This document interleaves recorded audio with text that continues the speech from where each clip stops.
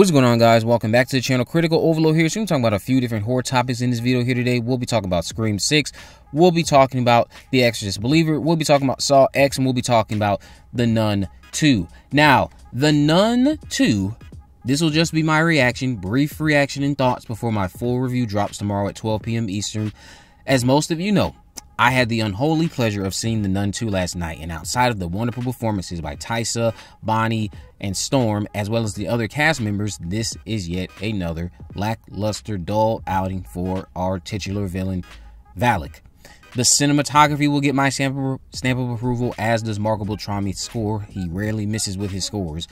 Uh, however, the three talented writers who have proven themselves in the past, they were simply assigned to clean up a mess that they didn't create. And for that, I will say they're at least able to improve on the story overall, but it's also still held back by the same mistakes that are present in the first Nun. Same nonsense, same cheap scares, same plot points that aren't really all that sensible in a lot of ways, and it's kind of overly grand, if you will. Seems like it should be should be more fitting for the Marvel Cinematic Universe if Marvel wanted to do horror films. I'm just being quite honest. It's not as grounded as where we started with that first Conjuring film anymore. Uh, the characters, yeah, you're not gonna, they're not, you're not gonna care about these characters as much as there are these improvements to the story. You, you still have again just just those same things that were bogging down that first movie.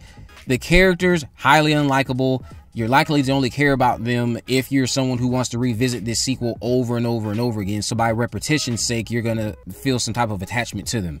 But I'll have my few review up tomorrow at 12 p.m. Eastern. Head on over to it and give it a thumbs up before it drops. I'll actually like to see 100 thumbs up before it drops, but it'll be up at the end of this video for you to go over and give it a thumbs up if you want to before it airs. Jumping into Scream 6. Scream 6 could have been centered on a wedding if Kevin Williamson is remembering his Scream 6 correctly anyway. This was during the Happy Horror Time podcast where he was revealing Sidney's role in his Scream 6. Keep in mind, He's also in the past talked about how his Scream 6 would have been more about Gale and Dewey. So I'm assuming this is still a Gale and Dewey driven narrative, but now we're getting some context as to what specifically Sidney would have been doing.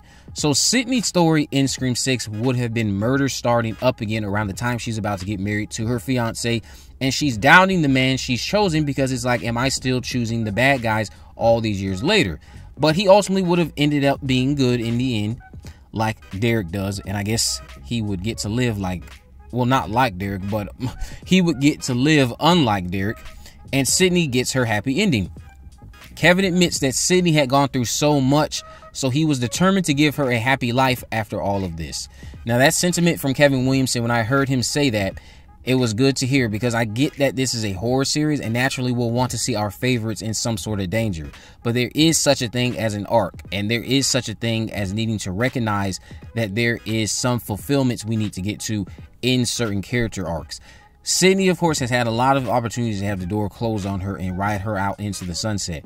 But because there seems to be a discard for arcs, a discard for the fact that certain things do have a shelf life, as long as Scream exists, there's this sentiment, well, then keep on bringing Sidney back. But I say to that, no. The reason you should not keep doing that is because it's going to feel like you want to completely always step on a character arc so that you can get your yayas when you see another Scream movie. There's plenty of great stories you can tell in a franchise that don't constantly rely on old characters.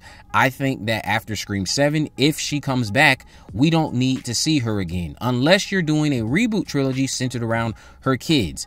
Uh, but if she doesn't come back for Scream 7, I'm fine with that.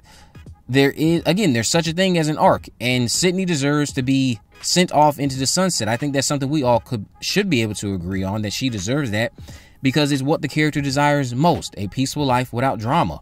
Scream again, like I stated, can continue without her. And that wedding idea, that probably would have been cool on screen, I'm not gonna lie.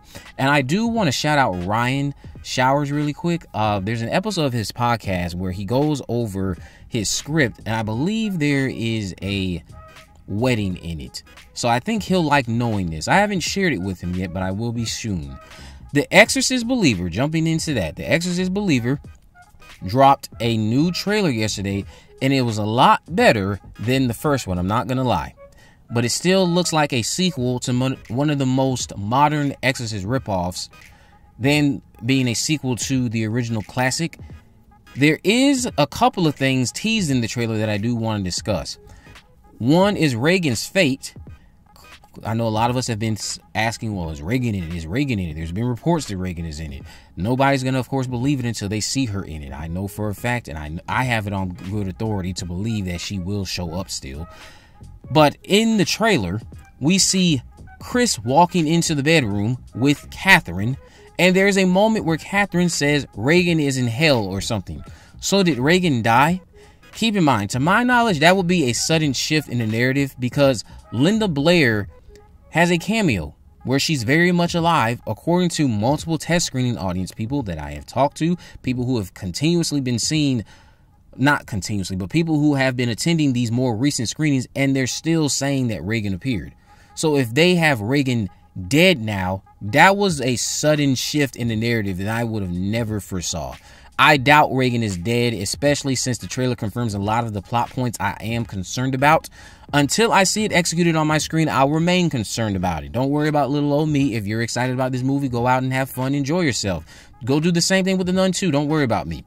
Another thing is Chris is shown in this trailer falling on the ground with no eyes. Her eyes have been gouged.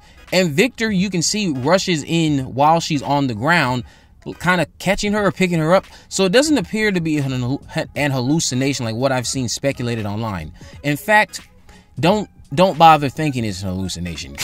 Keep in mind, I've been against her inclusion due to certain things that I've known about the film, and this trailer highlights one of those reasons I am against Chris's inclusion in this movie. I'm not against injuring legacy characters, but Chris's overall execution in this movie, for now, until I can see it, if it translates better on screen, it does not sit well with me. I'm open to being surprised, but this is our sadly hardest of the year. It is. It just genuinely is. It's it's not something that is very believable for the character of Chris. Had this been Regan in this role, I could have probably digested a little bit better. I'm certain, again, there's aspects of it that I'll enjoy. Ellen Burstyn, I have no doubt, will put on a competent performance. But Chris in this role, when you see the story and how there's certain things going on that feel like they're being boggled down so she can be included, it feels forced. It does feel forced. Jumping into Saw X. Saw X released a couple new things. A poster which reads, I love Saw which I thought was very clever. And this new image of Shawnee Smith's Amanda character. Now, Shawnee, she looks she looks amazing. Just a random compliment for her.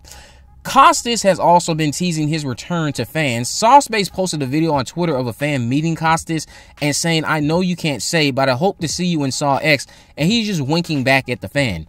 Now, the evidence of his return is just piling up. We already heard Dude's voice in the trailer. He's posting Saw X related things on social media, winking at fans at signings, and trusted insiders have already outed him. I'm just curious how he'll appear in the movie, but we will find out later this month. What did you guys think about the Saw X poster and what you think about that new look at Shawnee Smith? What do you think about these other topics we discussed? Let me know down in the comment section below. If you haven't already, of course, make sure you subscribe. Turn on post notification and miss a video in the description. I'll have links to my social media accounts. I'm on Facebook, Twitter, and Instagram. You can message me there, of course. Let me know any movies, news, or reviews you'd like me to cover in the future. And with all that in mind, guys, I will see you in the next video.